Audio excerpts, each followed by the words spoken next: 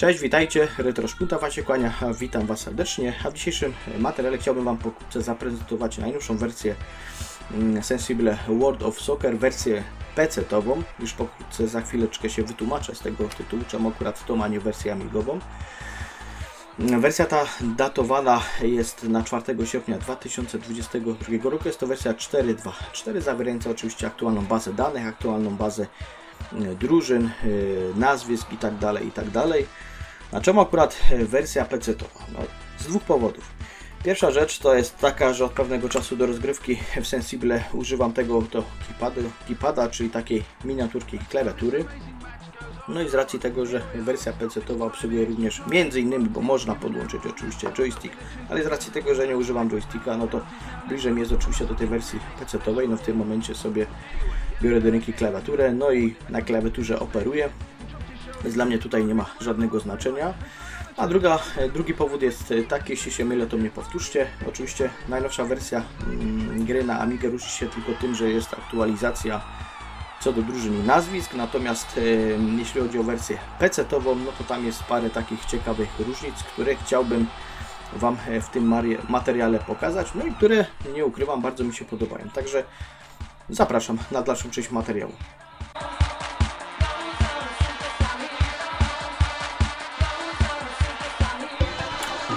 Grę możemy sobie bezpłatnie e, ściągnąć ze strony Sensible e, Soccer DE, wchodząc w zakładkę SFOS 2020. No i tutaj mamy do wyboru dwie wersje, wersję PC-ową oraz wersję WHD Load e, na Amigę. Ja sobie już wcześniej ściągnąłem tą wersję na PC, no i po ściągnięciu, zainstalowaniu pojawia nam się takie okienko. Ja już tutaj się może nie będę zagłębiał w te wszystkie zakładki. No w wolnym czasie oczywiście sobie można poczytać i się zaznajomić, natomiast jak chciałbym Wam tutaj pokrótce pokazać takie najważniejsze z mojego punktu widzenia mm, rzeczy, na które warto sobie, e, że tak powiem, wybrać. No i tak by się fajnie nam po prostu grało w Sensible. Pierwsza zakładka, no to oczywiście wybieramy sobie, jaką chcemy mieć wersję mm, gry, czy chcemy tą wersję PC-tową, e, czy chcemy wersję amigową w 50 bądź też 60 klatkach, no i wersję na mm, konsolę. Ja sobie wybiorę 50 klatek na sekundę. E, następne okienko mamy, czy chcemy e, wyświetlić e, obraz standardowy, oryginalny, taki jak był na Amidze, czyli 4 na 3 czy chcemy mieć rozszerzony do formatu na przykład 16 na 9 no ja wybieram akurat ten format ze względu na moje chore oczy. No tak żeby mi się po prostu przyjemniej grało i bym po prostu wszystko dokładnie widział no to sobie możemy jeszcze rozdzielczość oczywiście zmienić. Warto sobie tutaj te wszystkie aktualizacje też ściągnąć, żeby mieć wszystko na bieżąco, jeśli chodzi o składy, drużyny itd. Tak itd. Tak no jeśli mamy oczywiście e, wszystko wybrane, no to uruchamiamy oczywiście Sensible. No już na wstępie widzi, widzimy tutaj pewne różnice względem oryginału. Zacznijmy może sobie od prawej strony. Mamy tutaj opcje, gdzie możemy sobie wybrać E, w zależności dla gracza pierwszego i drugiego, czy chcemy grać myszką, czy klawiaturą. E, ja tutaj też się nie będę tak zagłębiał za bardzo. E, jeśli chodzi o opcję wideo, możemy sobie zmienić rozdzielczość. Hmm, co my tutaj mamy? Audio, możemy włączyć, wyłączyć muzykę, ściszyć, zgłośnić, czyli takie standardowe rzeczy jak w każdej można powiedzieć grze. Jeśli chodzi o zakładkę gameplay, no to tutaj mamy też ustawienia co do samego meczu. E, możemy sobie włączyć i wyłączyć e, informacje pojawiające się w dolnej części ekranu. No to jeśli ktoś ma konto oczywiście na Sensible Soccer DE, no to e, w tym momencie gdy gra prowadzi streaming, no to pojawiają się informacje, pojawiają się również informacje od zaprzyjaźnionych stron związanych oczywiście z Sensible Soccer. Jeśli gdzieś się jakaś pojawia informacja, no to również tutaj w dolnej części ekranu się ona pojawi. E, co my tutaj mamy? Amiga Style Menu. Możemy włączyć bądź też wyłączyć. Mm, co my tutaj jeszcze mamy? Przejdźmy dalej. Edycja, no to jest standardowa edycja drużyn i zawodników. Extras, no to tutaj mamy też pewne informacje, na przykład jak sobie wejdziemy Tips and e, Reviews, no to możemy sobie poczytać jakieś ciekawe informacje y, związane z Sensible World of Soccer znajdujące się na różnych stronach internetowych. No i dla przykładu na przykład wejdźmy sobie, nie wiem, mm, mm, mm, co my tutaj mamy, no jakiś taki pierwszy, lepszy link. No i przychodzi on automatycznie na stronę www, gdzie możemy sobie oczywiście poczytać na dany temat. Wróćmy jednak do samej, samej gry, bo to jest najważniejsze. No tu mamy powtórki, mamy powtórki, też ciekawostka, której nie było, powtórki całych meczy. E, powtórki, oczywiście skróty, skróty bramek, e, SFOS Galor. Tak naprawdę nie wiem co to jest, bo też nie zagłębiałem się w to jakoś szczególnie. De facto tą wersję mam od wczoraj. No tu mamy pewnie, a oczywiście jak mamy konto na Sensible World DE, no to jak się zalogujemy, to pewnie będziemy mogli z tej opcji korzystać. E, wyjdźmy sobie z tego. Mm, Competit, y, czyli możemy sobie rozegrać, y, tak jak zawsze to było, opcje kariery, jakieś dodatkowe swoje rozgrywki, mm, ligę, puchar, turniej założyć. No i mamy tutaj bieżące rozgrywki, puchar świata, jakieś rozgrywki ligowe, czyli to de facto opcja tak jak w poprzedniejszych wersjach. Tu się tutaj akurat nic nie zmieniło. Natomiast co chciałem Wam pokazać, ten, tą zakładkę praktyki. No, możemy tutaj rozegrać oczywiście mecz towarzyski, możemy go e, zobaczyć, popijając na przykład kawkę, herbatkę bądź też inny trunek. Natomiast chciałem Wam pokazać e, te dwie zakładki. E, opcję treningową, czyli e, na wstępie wybieramy sobie opcję, na którą bramkę chcemy atakować, czy na tą dolną, czy na tą górną. Weźmy powiedzmy opcję na tą dolną. Wybieramy e, poziom przeciwnika, czy też bramkarza, no powiedzmy beginner, no i możemy sobie poćwiczyć różnego rodzaju zagrania, możemy sobie przećwiczyć na przykład umiejętność wjeżdżenia z piłką do bramki, no i mamy tutaj do wyboru, jeśli damy by przeciwnik miał formację defensywną, e, formację środkową i formację mm, przednią, no to wybiegnie na boisko i będzie nam utrudniał skutecznie życie, natomiast możemy te formacje wyłączyć i możemy na przykład zostawić formację obronną. No jak to wygląda, już Wam pokazuję. Oczywiście możemy sobie wybrać drużynę, jaką chcemy grać, ale weźmy tutaj na potrzeby tego materiału randomową. No i co to jest za drużyna? Folgore Falciano. E, San Marino. Aha, drużyna San Marino. No i uruchamiamy. Zobaczmy, jak to wszystko wygląda. Przypomnę, że zostawiliśmy tylko formację obronną. Czyli tak jak widzicie, obrona się rozłożyła na boisku. Zobaczcie, jakie fajne boisko, takie typowo treningowe, z dużą ilością błota. Piłka tak notabene podczas kopania również staje, więc to tak fajnie i dodatkowo potęguje, mm, potęguje to odczucia takiego typowego boiska osiedlowego. No i co, możemy sobie poćwiczyć oczywiście różne rozegrania, yy, warianty rozegrania piłki. E, no tak mówię, jeśli wyłączymy wszystkie, e, wszystkie formacje przeciwnika, no to będzie nam zdecydowanie łatwiej poćwiczyć jakieś ciekawe rozwiązania, tak jak prawie mi się udało wjechać z piłką do bramki. No i de facto de facto e, nic tutaj więcej szczególnego nie ma do pokazania. No można sobie po prostu potrenować, tak? Mówię to w kontekście na przykład następnego mm, turnieju Sensible World of Soccer. Jeśli ktoś by chciał oczywiście podnieść swój skill, no to taki trening będzie jak znalazł. Nie wiem, czy mi się uda. Tak. No, nie udało mi się. Dobra. E, nie będziemy tutaj jakoś wybitnie się rozkminiać nad e, tym treningiem, ale jeszcze chciałem Wam pokazać e, turniej, turniej, trening strzelecki. E, możemy sobie tutaj wybrać e, opcję sterowania bramkarzem, bądź też oczywiście nie. Ja sobie tą opcję zostawię. E, weźmiemy jakąś randomową drużynę z Europy. Kups. No i taka ciekawostka.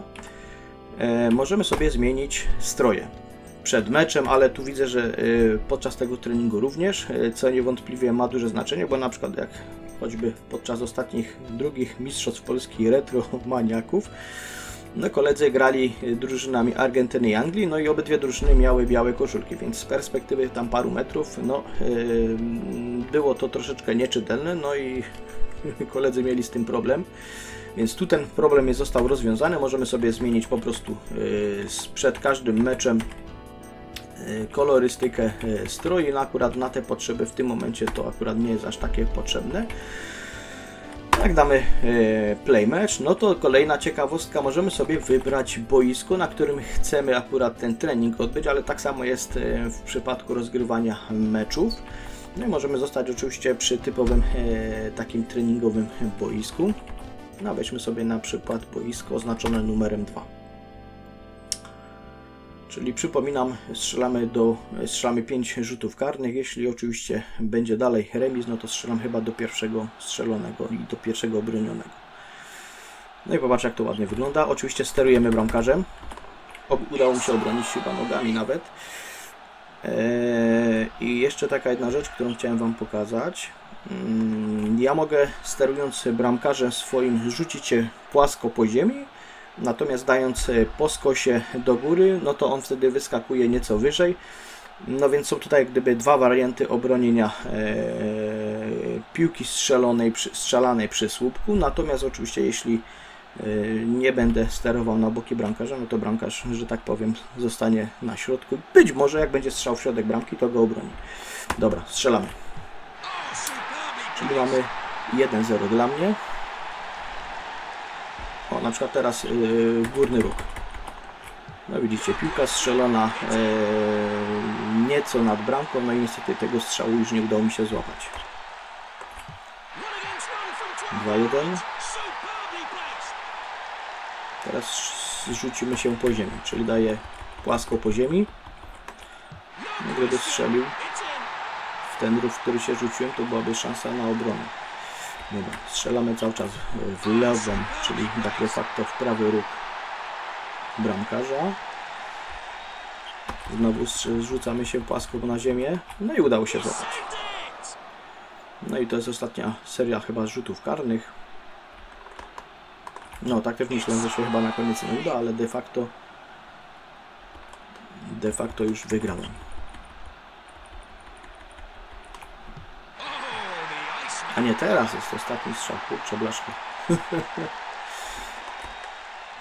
no i mamy remis, tak?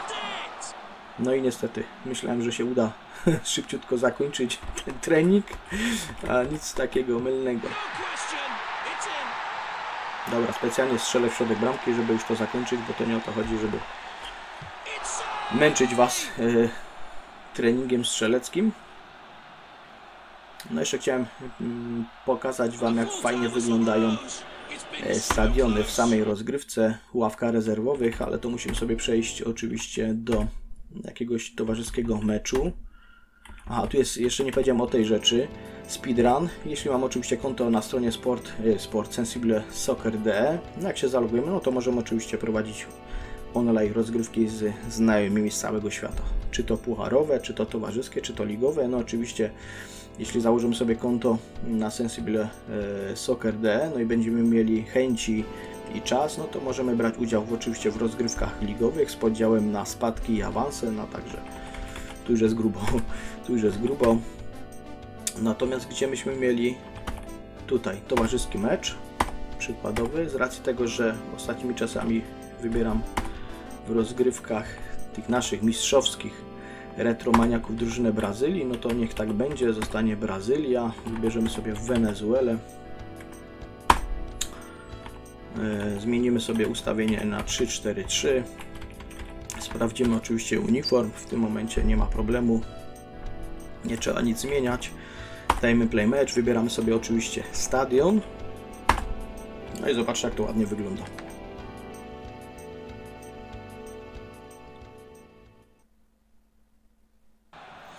Tak, reklamy dookoła. I zobaczmy. No, chciałbym przynajmniej piłkę, piłkę gdzieś tam posłać do przodu, żebyście zobaczyli.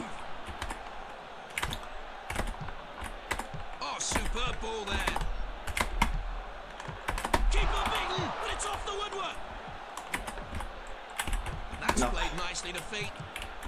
Spróbuję piłkę na aut wybić. O właśnie. Popatrzcie się, bandy dookoła. Widać ławkę rezerwowych ze specjalnymi strefami, wydzielonymi liniami. Widać e, trybuny.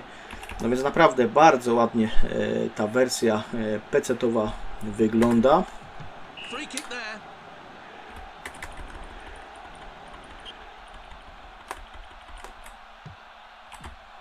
Jeszcze spróbuję się przedrzeć pod pole karne przeciwnika.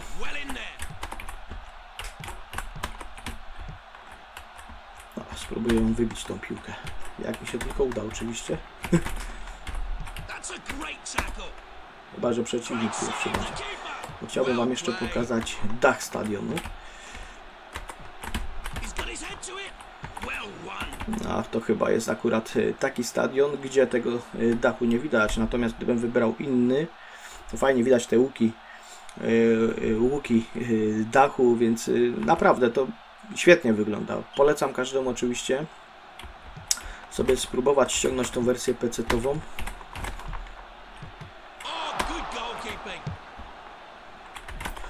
I też widzę, że w zależności jaki wybierzemy stadion, takie też reklamy na bandach się pojawiają, bo wybierając nieco wcześniej inny stadion, pojawiała się reklama Commodore 64, Amiga i tak dalej, i tak dalej. ZX Spectrum również było. No to tak fajnie, fajnie to wygląda. Co by tu nie mówić. No.